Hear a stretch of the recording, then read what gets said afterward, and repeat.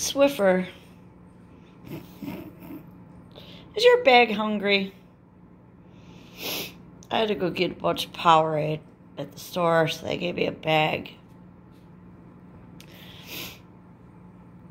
And Swiffer went right in the bag. We haven't had one in a while. We have not had one lately. So he's eating with his bag. Swiffer. Unbelievable. You're such a weirdo.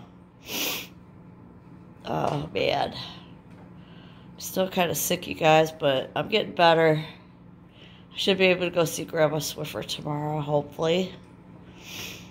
And Happy New Year, everybody. From me and Bag Kitty. And there's Tippy. Dorky's in the other room. She's sleeping, so. We'll talk to you later. Have a good New Year's Day.